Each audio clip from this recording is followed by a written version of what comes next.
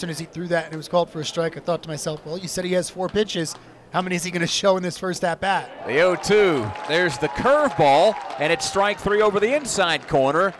Honeycutt in foul territory off the bag at third base. The payoff pitch to Harber, and that's hit high towards left. Glancy tracking back. Glancy looking up, and Harber's just gone yard for the 12th time in 2024. The 0 1 pitch to Cook. Big swing and a fly ball to right center field. Casey Cook has gone yard, and Carolina leads 5 to nothing. At least in his first two years in South Bend, but this year has become more of, I think, what you'd call an everyday player. As he's punched out looking at strike three, and the payoff pitch from Bedford to D'Onofrio. That's pulled between first and second and into right field. Coach Forbes sends Madera. The Tar Heels have another run. The 1 0. Honeycutt turns and pulls that past third base, and it's rolling into the left field corner. D'Onofrio speeds around second. Coach Forbes points him home. Vance with a two out RBI double. It scores D'Onofrio. It makes it 7 0 in favor of Carolina.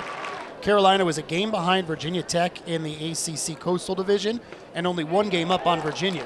The 2 2. DeCara goes back to the breaking ball, and Jefferson looks at strike three. Or, excuse me, left, left center. Lally from out of the stretch. And Cook puts that between first and second and into right field. Madera scores to make it 8 to nothing as he settles in first base side of the rubber. The 1 1 Harber smacks that into left on a line drive. It scores Wilkerson. It scores Honeycutt. Carolina's up 10 0, and Harber's got four driven in on the night. The 0 1 to Stevenson. Big swing.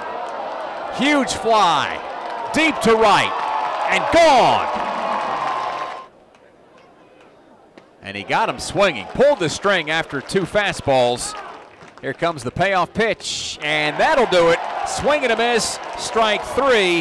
It ends the game, and it gives Carolina the early lead in the three game series.